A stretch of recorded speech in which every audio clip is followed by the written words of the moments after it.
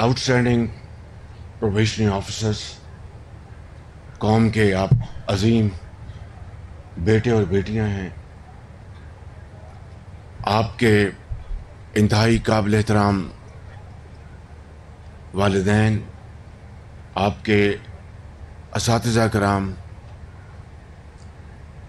Governor Punjab जनाब बलीगो रहमान साहब, senator Sadia बासी साहिबा former honorable judges of High Court and Supreme Court, सरकारी अफसरान मेहमान ने ग्रामी ख़वान हजरात ऑनरेबल लॉ मिनिस्टर अस्सलाम आज मेरे लिए एक इंतहाई खुशी का मौका है कि मुझे पाकिस्तान भर के जो हमारे चमकते सितारे हैं, जिनके हाथ में कौम की तरक्की और खुशहाली की कुंजी है, उनको आज यहाँ पर उनको एजाज़ी सनदी दी गई। उनकी बेहतरीन कारकर्दगी के ऊपर और उनकी जो तालीमी, समाजी माशी, जो उनकी खदमात हैं, उनको आज इन कैमरास के ज़रिए पूरी कौम न सिर्फ़ आपकी तरफ़ देख रही है, बल्कि आपको दिल की अथाह गहराइयों से आपकी तहसीन कर रही है। मैं समझता हूँ कि इस ट्रेनिंग प्रोग्राम में जो सेगमेंट्स जो यहाँ पर बताए गए तालीम से लेके स्पोर्ट्स और फिर फ़ील्ड में जाकर आपने सैलाब जदगान की जो खिदमत की है, वो इंतहाई काबिल तारीफ़ है कि ये जज्बा इस जवानी के उम्र में जो आपके दिलों में मौजन है, और मैंने अभी जो तस्वीरी जो मैंने ख़बरनामा देखा है, उससे पता चलता है कि किस तरह आपने जनूबी पंजाब में, किस तरह आपने पाकिस्तान के दूसरे सूबों में, और ख़ास तौर पर जो इलाके सैलाब के हवाले से तबाह हो गए थे, उनमें जाके आपने जो दुखी इंसानियत की जो खिदमत की है, वो मैं समझता हूँ कि हमेशा वो लोग उसको याद रखेंगे और यकीनन अल्लाह ताला आपको इसका बहुत अजर अता फरमाएगा। मैं सबसे पहले आपके वालदेन को मुबारकबाद पेश करना चाहता हूँ कि जिन्होंने अपने मेहनत से और रिस्क हलाल से आपको पढ़ाया, लिखाया, आपको पाला पोसा और जिस तरह आपकी उन्होंने पासदारी की और आपका ख्याल रखा। यकीनन बास केसेस जनाब उमर रसूल साहब ने, जो डायरेक्टर जनरल हैं इस एकेडमी के, मेरे साथ इन्होंने बतौर डायरेक्टर एलडीए काम किया। और जितने अरसे में मेरे साथ इन्होंने काम किया, मैं बग़ैर किसी लगी लपटी के मैं ये कहूँगा कि I found him an outstanding officer और एक जिसको आप कहते हैं कि लाइव वायर के मानंद। और जो डेवलपमेंट का काम मैं इनको कहता था आ, बड़ी बरक रफ्तारी से और सुर्ख फीते को काटते हुए वो ये काम करते थे। आज बड़े अरसे बाद इनसे मुलाकात हुई तो उस ज़माने की यादें ताज़ा हो गईं। वो भूली बसरी नहीं थी सिर्फ़ दूसरे जो चैलेंजेस की बना पर वो ओझल हो गई थी, आज ताज़ा हो गई। तो मैं आपको मुबारकबाद पेश करता हूँ। और यहाँ के तमाम उन इस को मुझे यकीन है, उसमें जज साहब भी शामिल हैं, उसमें खालिद साहब भी शामिल हैं। और दूसरे जो यहाँ पर फॉर्म ऑफ़ सिविल सर्वेंट्स मौजूद हैं, जिनको मैं कईयों को ख़ुद ज़ाती तौर पर जानता हूँ कि जो कि बहुत पाकिस्तान के अजीम सपूत हैं जिन्होंने अपनी पब्लिक सर्विस में नाम कमाया है। अपनी मेहनत से अपनी अमानत से अपनी दयानत से मैं आप सबको मैं मुबारकबाद पेश करता हूँ। और यहाँ पे बात हुई आ, हमारी जो पब्लिक सर्विस की जो अहदाफ हैं और ख़ास तौर पर जो बुनियादी जो आपके जो फ़रज़ हैं इन अब आप अमली मैदान में जाएँगे तो आपको वहाँ पे आ, अमली जो चैलेंजेस हैं वो मैदान में नज़र आएँगे। उसमें गुर्बत है उसमें बेरोज़गारी है उसमें नादारी है उसमें तालीम का फुकदान है उसमें आ, काम करने की जो विल टू डू उसमें कमी है। उसमें रिस्पॉन्स की कमी है। उसके कई वजूहत हैं। मैं किसी तफसील में जाए बगैर ये ज़रूर कहूँगा कि मैं उन अफसरों को जानता हूँ, उन पब्लिक सर्वेंट्स को जानता हूँ, जिन्होंने पाकिस्तान के लिए बड़ी तनदेही से काम किया और बड़ी लगन से काम किया, अपना खून पसीना बहाया। लेकिन उनमें से बास को सिर्फ़ और सिर्फ़ ऐसी वजूहत की बिना पर जिनकी यानी हकायक से कोई ताल्लुक़ नहीं था, मैं बड़ा मोहतात होकर अल्फाज का चुनाव कर रहा हूँ इस वक्त, जिनका कोई बेबुनियाद इल्ज़ाम की बना पर उनको मैं समझता हूँ कि उनके ख़ानदान के सामने उनको एम्बेरस किया गया, कौम के सामने उनको एम्बेरस किया गया और यही वजह है कि आज अगर जो अच्छे ईमानदार पब्लिक सर्वेंट्स हैं, जो चाहते हैं कि वो अपनी ईमानदारी, मेहनत और काबिलियत से पाकिस्तान की तकदीर बदल दें और इस कौम के अंदर गुर्बत, बेरोज़गारी का ख़ात्मा करें तमाम दूसरे जो माशरे के जो जो अज्जा हैं, उन सब, उनके साथ मिलकर वो अब एक बार नहीं सौ बार सोचते हैं कि मैं ये काम करूँ कि ना करूँ। कल को ना जाने मेरे साथ भी वही अंजाम होगा जो कि उनके जो सीनियर्स के साथ हुआ। ये है वो एक बड़ा स्टम्बलिंग ब्लॉक रास्ते में जिससे कि हमारी जो सिविल सर्विस है वो बेचारे इस वक्त यकीनन वो आ, एनर्जी वो कमिटमेंट कोशिश के बावजूद नहीं दिखा पा रहे। और मैं समझता हूँ कि ये पॉलिटिकल हैराकी का, ये अदलिया का, और ये तमाम, ये पार्लियामान का, ये सब का ये एक मुश्तर एजेंडा होना चाहिए कि किस तरीके से हम इस मुल्क के जो पब्लिक सर्वेंट मैं जानता हूँ, किस अभी मैं बलूचिस्तान से एक दस बारह दिन पहले वहाँ पर था, और वहाँ पर मैं एक एक इलाका है सोबतपुर, जो सैलाब में एक समंदर नज़र आता था। और कई महीने आज भी मैं वहाँ गया हूँ, चंद दिन पहले तो वहाँ पर अभी भी पानी खड़ा है। और लोगों को आज भी बेपना मुश्किल हैं। वहाँ पर स्कूल तबाह हो गया, वहाँ का पूरा शहर पानी में डूब गया। मैंने वहाँ पर उनको कहा कि एक बहुत अच्छा स्कूल दोबारा तामीर करें। आप यकीन करें कि वहाँ की इंतज़ामिया ने, वहाँ के डिप्टी कमिश्नर ने कमिश्नर ने, सेक्रेटरी एजुकेशन ने मिलकर मैंने उनको दो महीने का टारगेट दिया था और बेहतरीन स्मार्ट स्कूल उन्होंने बनाया वहाँ पे। ये है वो कारकर्दगी जो हमारे जो पब्लिक सर्वेंट्स करने के अहल हैं। अगर उनको वो माहौल मुहैया किया जाए, अगर उनको वो अनेबलिंग सर्कमस्टांसेस उनको मुहैया किए जाएँ, मैं ये बात डंके की चोट पर कहना चाहता हूँ कि जब मैं यहाँ पर दस साल इस सूबे में मैंने जो गुजारे हैं आई थिंक वो हिस्ट्री को जज करेगी। लेकिन मैं एक बड़ा ख़ताकार इंसान हूँ।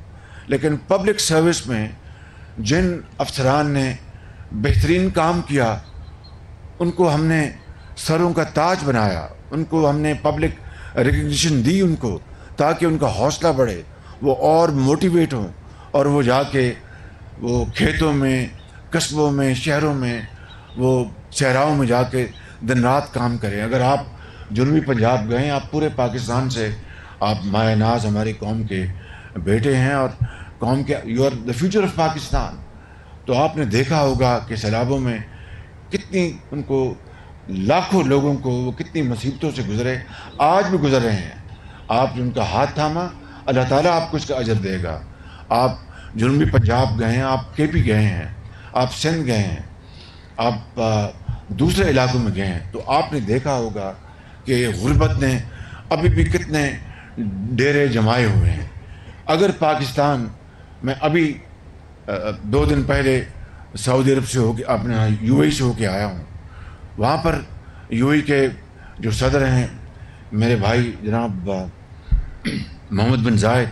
उन्होंने इंतहाई मोहब्बत और शफकत से उन्होंने वो पेश आए। उन्होंने अपना दिल खोल दिया हमारे आगे। और पाकिस्तान के जो उसको, जो चैलेंजेस हैं इकनॉमिक चैलेंजेस हम सबको पता है मैं यहाँ पर उसकी तफसील बयान नहीं करना चाहता। तो मैंने उनसे कहा कि आपने दो अरब डॉलर का जो कर्ज़ा दिया है पाकिस्तान को, मेहरबानी कर उसको रोल ओवर कर दें। और मैंने पहले मैंने फैसला किया था कि मज़ीद उनसे मैं कर्ज़ा नहीं मांगूँगा, लेकिन मैं शुमी किस्मत देखिए कि इस वक्त पाकिस्तान जिन मसाइब से मुश्किल से गुज़र रहा है, मैंने फिर आखिरी वक्त फैसला किया और हिम्मत बांधी कि मैं उनसे मज़ीद कर्ज़ा मांगूँ। तो मेरी, हमारे साथी वज़रा और सब बैठे थे, उनकी भी टीम बैठी थी। तो मैंने कहा कि जनाब, मेरे आप बड़े भाई हैं और मुझे बड़ी शर्म आ रही, लेकिन मजबूरी है हमारे मामलात, जो माली मामला जो हैं, इस वक्त बड़े आई एम एफ़ की शराइ में हम जकड़े हुए हैं। अभी भी नाइन्थ रिव्यू मुकम्मल नहीं हुआ। उनके शर्त है कि जनाब बिजली की कीमतें बढ़ाएँ, फलां कीमतें बढ़ाएँ। गरीब आदमी को हम कितना और बोझ डालें? बहरहाल ये तफसील तो मैंने उनको नहीं बताई। मैंने कहा कि मसाइल आप जानते हैं, आप मुझे हमें एक अरब डॉलर और दे दें। तो उसने कहा कि शबाज शरीफ, आप मेरे भाई मैं आपको किस तरह इनकार कर सकता हूँ? मैं हाज़िर हूँ। अब देखिए कि उन्होंने तो ये काम कर दिया। जब मैं उनके साथ अलहदा वन ऑन वन मीटिंग के लिए मैं गया आ, उनके पास तो मैंने कहा कि आ, मैंने वहाँ पर भी सबके सामने कोई थोड़ी सी बात की। वहाँ पर मैंने तफसील से बात की कि मुझे बड़ी आ, आ, मुझे आई फील वेरी एम्बेरस्ड कि मैं आपसे हर दफ़ा आता हूँ। कोई और आता है तो आप कहते तो नहीं लेकिन दिल के अंदर तो आप समझते होंगे ये पैसे मांगने आ गए हैं। तो मैंने कहा कि ये पाकिस्तान एक मिसाल इसकी ये है कि एक हाथ में हमारे एक न्यूक्लियर ताकत है और दूसरे हाथ में कशकोल ये आग और पानी का ये कब तक ये मैलाप हो नहीं सकता, कब तक चलेगा? उन्होंने कहा कि आप शबाज शरीफ, आप ठीक कहते हैं, लेकिन ये मेरी, मैंने खुशी से ये किया है। अल्लाह ताला आपके मसाइल हल करें, मैं हाज़िर हूँ। तो फिर उन्होंने मुझे कुछ और तजावीज़ बताई। कि ट्रेड में हम आगे बढ़ें, हम आगे बढ़ें, हम इन्वेस्टमेंट्स में, और यू हाज़िर है और बिलियंस ऑफ़ डॉलर्स की हम सरमाकारी के लिए हम उसके लिए तैयार हैं। लेकिन मैं किसी एक लम्हे की बात नहीं कर रहा, किसी एक हुकूमत वक्त की बात नहीं कर रहा। मैं एक मजमू सूरत हाल जो पचहत्तर साल की है, वो आपके सामने रख रहा हूँ कि मुझ समेत या हमारी हुकूमतों समेत चाहे वो सियासी हुकूमतें थी या मिलिट्री डिक्टेटरशिप थी। और आप वो उन माशरे के उस तबके से आपका ताल्लुक है, जिन्होंने कई अदवार देखे, निभाए और किसी ने बहुत अच्छा काम किया, किसी ने अपना अपना वक्त गुजारा तो आपसे बेहतर इस पचहत्तर साल की तारीख को कोई नहीं जानता कि किस तरह हमने मिनाचल कौम मुझ समेत हमने अपने वसाइल बर्बाद किए, अपने वक्त बर्बाद किया। शोरिश, शोर होगा, प्रोटेस्ट एजिटेशंस ये पचहत्तर साल की पाकिस्तान की तारीख़ है और हमारे आपके बुज़ुर्गों ने एक अपना खून का नजराना देकर पाकिस्तान हासिल किया और 16 दिसंबर को वो पाकिस्तान कायद का दो लख्त हो गया। आज बांग्लादेश कहाँ पर है? हम कहाँ पर हैं? मैं कहना ये चाहता हूँ कि ये बातें तकारीर तो हम बहुत अच्छी कर सकते हैं, इशार बहुत अच्छे पढ़ सकते हैं। मरसिए और पोइट्री, आज असल बात जो है, वो अमली मैदान में अमली काम की मेहनत, अमानत और दयानत आपसे इस कौम को तो है। आपसे न सिर्फ़ इस पंडाल में बैठे हुए, आपके माँ बाप, आपके वालदेन, आपके साथ कराम, ये अजीम अफसरान ये मेरी बहनें और ये बुज़ुर्ग जो बैठे हैं, ये सेनेटर्स ये मिनिस्टर्स ये गवर्नर्स ये मिलिट्री ऑफिसर्स बल्कि इन कैमरे के ज़रिए पूरी कौम की निगाहें आपकी तरफ़ हैं। और मैं आपको फिर के दिल से कहना चाहता हूँ कि you are the future of Pakistan आगे बढ़ें, आप पाकिस्तान को अजीम बनाएँ, सही मानों में कायद का पाकिस्तान बनाएँ तो रहती दुनिया तक लोग आपको याद रखेंगे कि वो बच्चे आए थे जिन्होंने मुश्किल तरीन हालात में अंधे थपेड़ों का मुकाबला किया, हिम्मत और बहुत ज़रूरत के साथ और बहुत अजीम एक वलवले के साथ और पाकिस्तान को बहरानों से निकाल कर ले गए। ये क्रेडिट आपको जाएगा। In you have a long way to go आपने इस मुल्क की खदमत करनी है। चारों सूबों में, गिलगित बल्तिस्तान में, आज़ाद कश्मीर में अल्लाह ताला आपको हिम्मत दे और आप हमारे इस मुल्क के आप उभरते सितारे हैं। मुझे उम्मीद है कि आपकी खिदमत के नतीजे में पाकिस्तान ज़रूर आगे जाएगा। एस एस डिज़ीज़ की आपने बात की, वो we are missing the bus. और जो मैंने, अभी मैंने जो गुजारशत की हैं, वही वजूहत हैं। और कोई वजह नहीं है बिल्कुल, वरना अगर पचहत्तर साल से हमारी ये बस जो है पाकिस्तान की, ये अगर बरक रफ्तारी से और सीधे रास्ते पर चल रही होती। चाहे वो मुकन्ना है, चाहे वो इंतज़ामिया है, चाहे वो इदारे हैं, चाहे वो हमारी अदलिया है, या चाहे वो सिविल सर्वेंट्स हैं या पॉलिटिशियंस हैं, मिलकर उस बस को हम सही समत में लेके जा रहे होते तो आज हमें कर्ज़ों की मैं की हमें आदत न पड़ती। आज ये हफून हम ना खा रहे होते। आज हम अल्लाह ताला के फजल करम से जिस मकसद के लिए का हज़रत कायद अज़म ने अजीम तहरीक चलाई थी और लाखों मुसलमानों ने, इनमें वो मुसलमान भी शामिल थे जिनको पता था कि वो पाकिस्तान का हिस्सा नहीं बनेंगे। वो दूर दराज कोई बॉम्बे से आया, यहाँ पर मीनार पाकिस्तान में, कोई बंगाल से, उन इलाकों से आए जिनका ईस्ट पाकिस्तान का हिस्सा नहीं बनना था। उन इलाकों से आए कि जिनको पता था, वो भी मीनार पाकिस्तान पहुँचे थे। इसलिए कि ऐसा पाकिस्तान आए जिसके ऊपर हम फ़ख्र कर सकें और ये न सिर्फ़ इस्लामी दुनिया, बल्कि पूरी दुनिया को लीड करेगा। आज हम दुनिया कहाँ पर है? आज हम कहाँ पर हैं? मैंने आपको बता दिया कि अभी मैं परसों होके आया हूँ। हमारे सिपा सलार अभी गए थे सऊदी अरेबिया। उनके, उनको बहुत बड़ी, वहाँ पर सऊदी हुकूमत ने इज़्ज़त दी, बड़ा एहतराम किया और बहुत बड़ी अमाउंट्स उन्होंने भी अनाउंस की। मैं सऊदी हुकूमत का बहुत शुक्रगुजार हूँ कि उन्होंने पाकिस्तान के बाईस करोड़ आवाम के लिए उन्होंने एक और हमें एक तोहफा दिया है, दस अरब डॉलर की इन्वेस्टमेंट और हमारा जो उनका सेफ़ डिपॉजिट है, वो तीन अरब से पाँच अरब डॉलर बढ़ जाएगा। लेकिन ये in the end of the day ये कर्ज है।